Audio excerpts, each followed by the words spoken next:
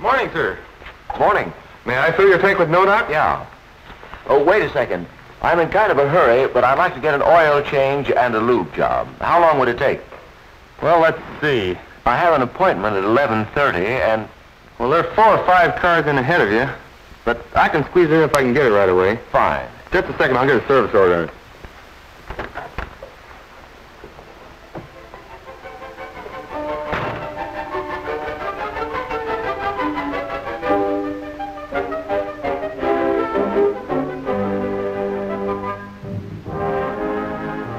All right, sir? Say, is there a barber shop around here? Yeah, right around the corner. See, I think instead of hanging around here, I'll go over and get a shave while you're working. That'll be fine if you'll let me get your name. Buck Holtz. Buck Holtz. Hi, Hank. Hello, Hank, old buddy. Hiya, Denny. Glad to see you. You want Gulf HD, won't you, Mr. Buck Holtz? Best there is, you know. Yeah, yeah. And then a Gulflex job. That's some automobile there. Sure is. All Hank's cars are some automobiles. See, we'll check the battery, tires, All his cars. How many's he got? six or seven, I forget. Cadillacs, Lincolns, bunch of foreign cars. Who is he? Him? Hank Hubbard. He used to own this station. He did. Yeah. Well, we'll get on this right away, sir.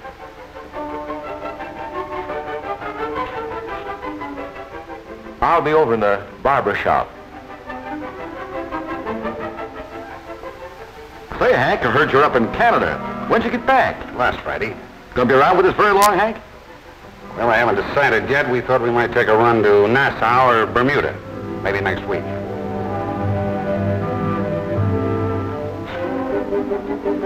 Morning.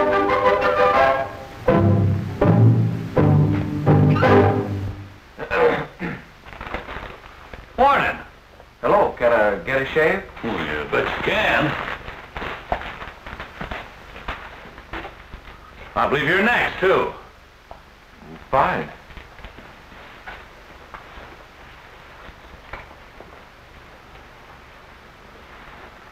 I had a little time to kill. They're working on my car down the street. Oh, over at uh, Kenyon's? Now, that Gulf station down there. I see. Well, that's Dan Kenyon Station. You, uh, regular customer there, are you? No, never been there before. Well, it's a fine station, and you'll like it. And they'll do a good job for you. They do a lot of business there. A They- lot of it. He must do a lot of business. While I was in there, the fellow who used to own it came in. Drives one of those Sandvik. Old Hank? Is he in town? You know him? Know him? Shucks. I should say I do know him. Why, the fact is, he still gets his haircuts here. Except when he's uh, sashaying around Europe or Hawaii or some of those places. I'll tell you one fine thing about good old Hank. His money ain't never changed him one little bit. He certainly seems to have plenty of it. Oh, yeah. He made a fortune out of that service station. A fortune. Well, it is a nice station. Well, it is now. Since Danny Kenyon bought it.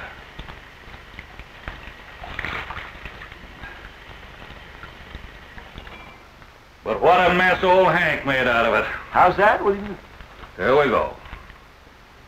Yeah. You'd go a long ways to find a worse looking station than that was when Hank had it. It had a dirty look, you know? Sloppy. Oh, Always a lot of junk laying around in the driveway and the gas pumps. Oil all over the place. It was awful. And Hank had a guy named Rusty working for him. and I swear Rusty would have made any place look bad. I mean, it was a regular eyesore. Why, the grocer next door used to just about go crazy. That place of Hank's is a disgrace to the neighborhood. That's what it is. Oh, I like Hank. I don't want to make trouble. But he's hurting everybody's business around here. Well, don't you imagine maybe he's losing more business than any of us? All right, that's the point. That's what somebody ought to tell him. Uh, you ought to tell him. Well, you know how it is. You hate to meddle in other people's affairs. Besides, what would be the use? He'd only tell me the same thing he told Ellen. Well, I guess that's enough. Who's Ellen? Ellen Matthews, Hank's girl. Awful nice kid. And she's got a mind of her own, too. And she wasn't afraid to tell Hank just how bad the station looked. Now, look, honey, why do you keep picking on me? I'll straighten things up around here, but I've been busy. Busy. You're less busy every day and you know it. Hank, if you don't clean this place up, nobody's going to come in here at all. Oh, honey, you don't know anything at all about this business, so why don't you stay out of it? I know this much. I know people aren't going to drive into a dirty, messy place like this. Why should they? There are too many nice stations. I wouldn't drive my car in here. Well, it's fine. That's great. You're going to marry me, yet you won't help me out by giving me a little business. I haven't got a car. And we're not married yet. Well, we're going to be as soon as I get going and make a little dough. Oh, listen, women always get excited about a little grease spot. Henry Hubbard. All right. I'll have Rusty start cleaning the place up this afternoon. You might start by cleaning Rusty up. No, but that's, that's no way to talk. And while you're at it, now that summer's here, don't you think it's about time you get that Christmas sign out of the window? Okay, okay. I'll put in lace curtains. Of course, Ellen was right. People won't stop into a dirty, run-down-looking service station any more than they stop into a dirty, run-down-looking barber shop. Don't you think so? Yeah, sure. It's a good thing Ellen got Hank to fix it up. Huh? I say it's a good Oh, thing. no, no, it was Danny Kenyon that fixed it up after he bought the station. Well, I thought you... Nobody had to tell him to do it. I'll tell you how it happened. He got together with the Gulf salesman and they worked the whole thing out, right according to the book. You see, there's a way to do these things, and Danny went right at it. Cleaned up the driveway, cleaned the pumps and waxed them, painted the whole building, curbs and all. Set up those oil can racks and those tire things. Why, he even planted shrubs and all that. Didn't take him long the way he worked. And I don't expect it cost him much money. But when he got through, instead of that pig pen Hank had, why, Danny Kenyon had him a station anybody'd like to drive into. Well, you saw it. You drove in, didn't you? Why? Because it looked like a place you'd like to do business with, right? Well, yeah, but there's one thing I don't understand. How this fella Hank did so I much... see what you're getting at. Well, to tell you the truth, Hank wasn't doing much business. And he kept losing trade all the time. Why, I've seen people slow down, look in, then speed up and drive right on by. The station had that dirty look about it all the time. Well, I'll take that back. Not all the time. Not at night. It didn't look so bad at night. There wasn't too much you could see. Too dark. With those weak little lights Hank had, it looked more spooky than dirty. But Danny changed that too when he took over. He got him those new light poles, the uh, toadstool, or mushroom lights, I guess you call them. Brighter bulbs. Arranged them like the book said, and bingo. The station looked just like it ought to look. People could see their way around. Weren't afraid of getting ambushed. Yes, sir. That Danny Kenyon's all right. Pretty smart operator, I'll tell you. Of course, he'll never make the money out of the station that old Hank did. What's the matter, did I nip you? No, but listen. You say Hank made so much money at that place, but how? Why did people go there? I mean... I know what you mean. They didn't. Of course, I don't claim that nobody traded there, but kept getting less all the time. The thing was this. Even though you knew Hank and went in in spite of the way the outside looked, it was mighty hard to stand the inside. Dirty and all messed up. Stuff just piled around every which way course, I suppose it was hard to keep it decent with that bunch of characters that used to hang around all the time. Hank didn't like it, but he was too good-hearted to chase them away. So, they just chased the customers away.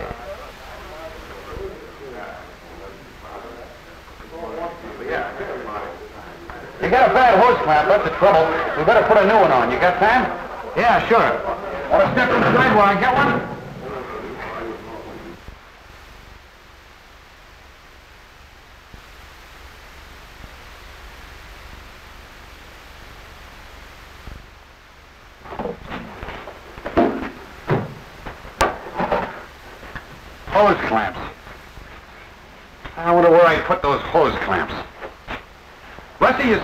You anywhere?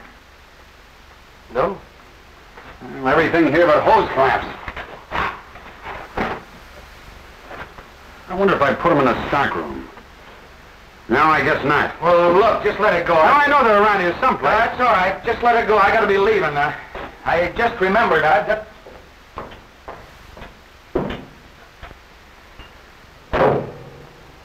I wonder what's the matter with him. All of a sudden, he's in a big hurry. Yep. A bunch of loafers can scare business away pretty fast, especially ladies. But men, too. Of course, I don't suppose those fellas meant to do any harm. They're all right. I knew them. They're just, uh, well, bums. Of course, you can't expect to run a business in a place that looks like a low-grade pool hall. And Ella knew that. And she used to get rid of them. you betcha.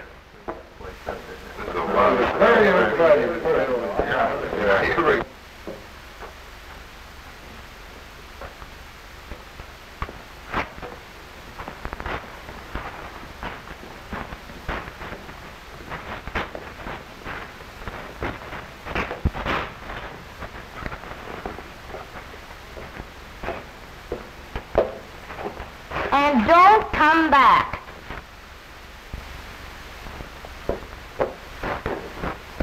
Hey, honey. Well, those guys left, I see. How'd you ever get rid of them so fast? I... I was saying I was wrong.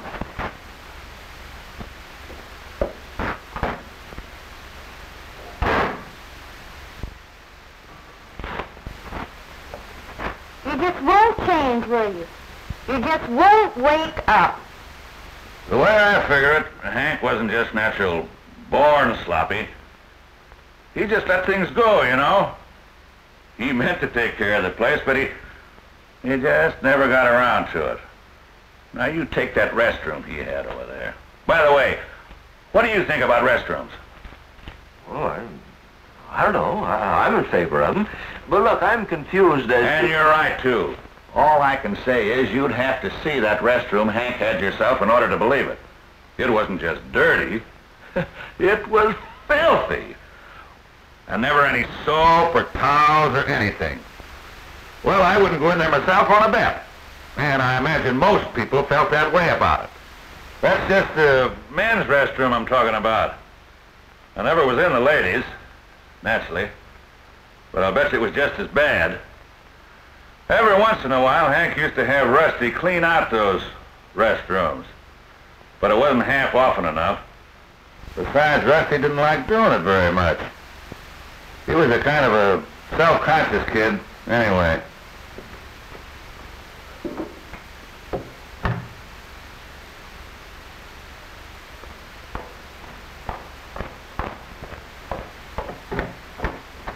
I'll be going to bed. Really?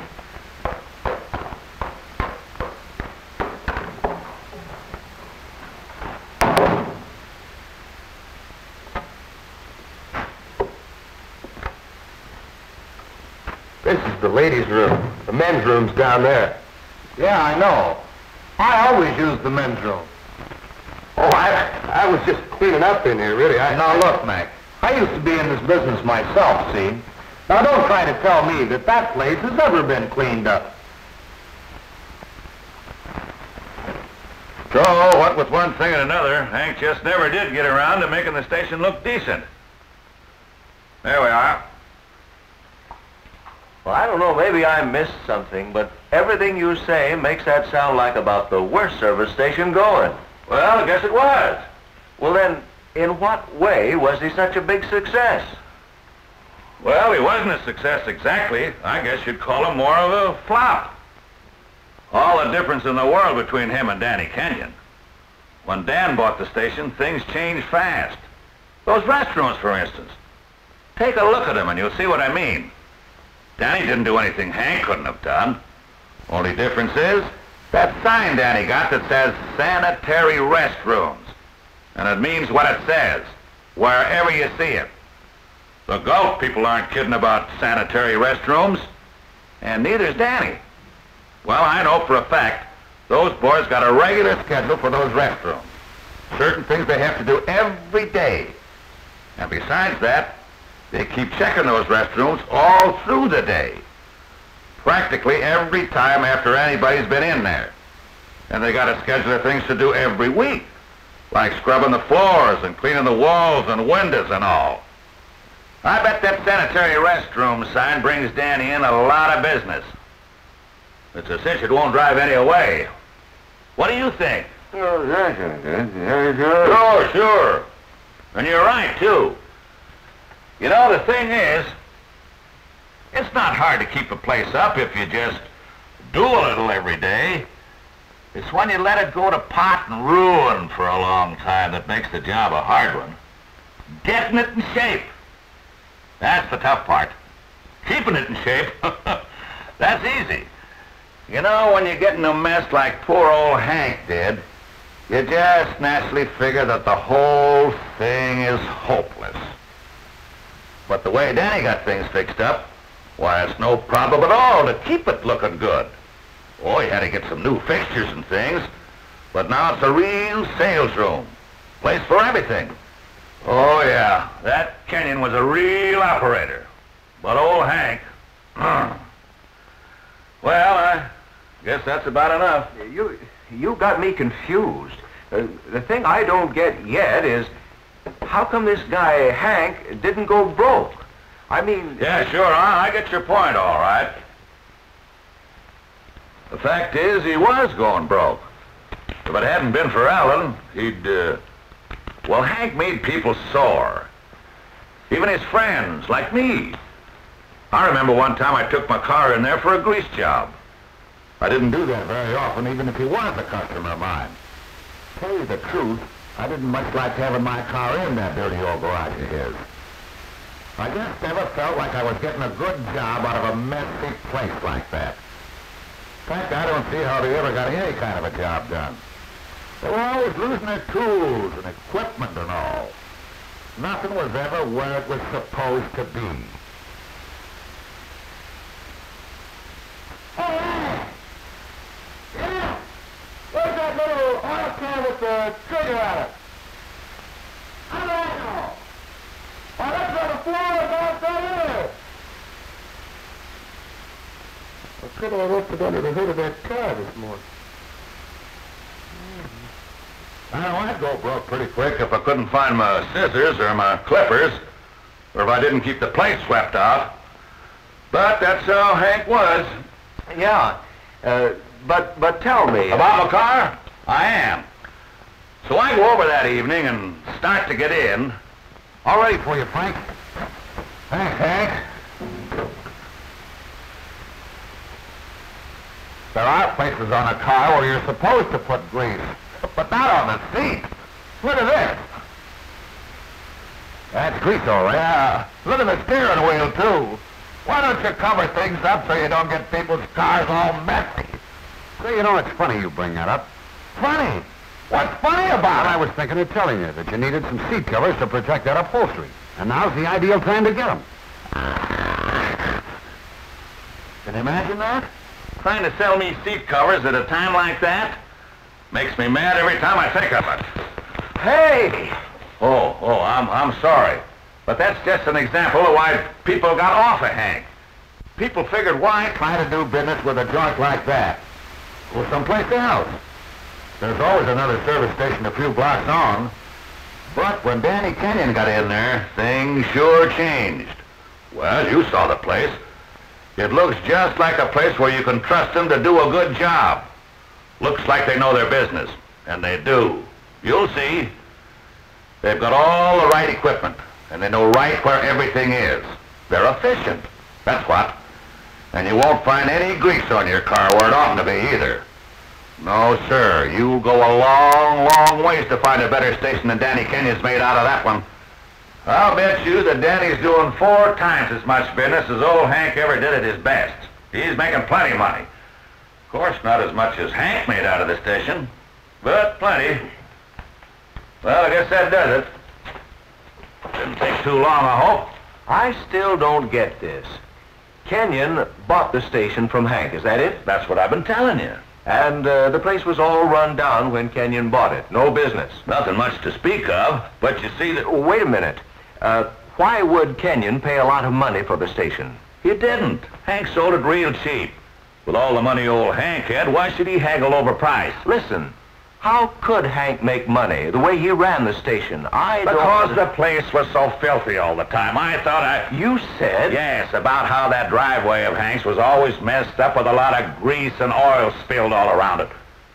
So one night a car drives in, and Hank went out to take care of him.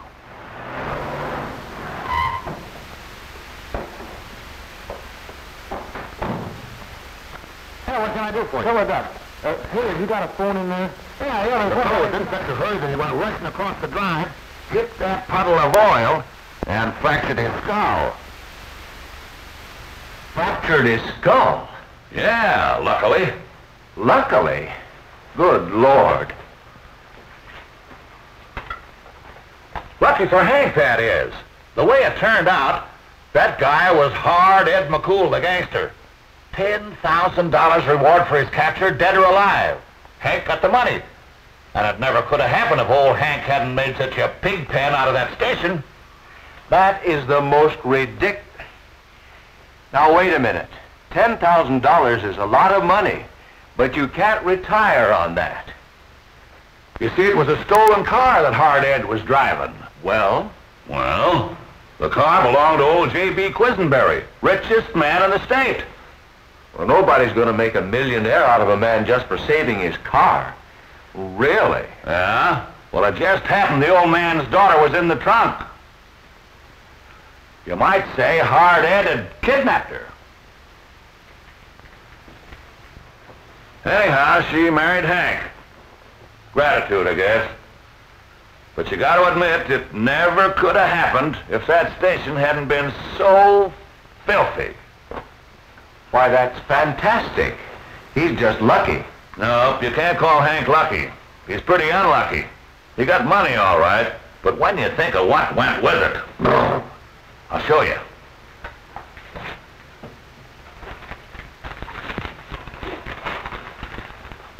This is what he got instead of Ellen. You see what I mean? As a matter of fact, Danny and the boys had this picture framed. It's hanging in the stockroom over there. Just to remind them what could happen if they don't keep that place cleaned up. I see. Well, here.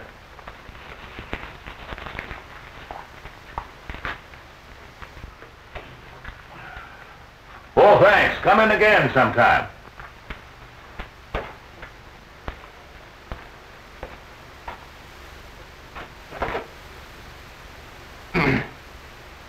I don't know why I should care, but what happened to Ellen? Oh, she drops over there now and then, just to see that everything's spick and span. Well, why does she care now that Hank's gone? What's Hank got to do with it? She got married to Danny Kenyon.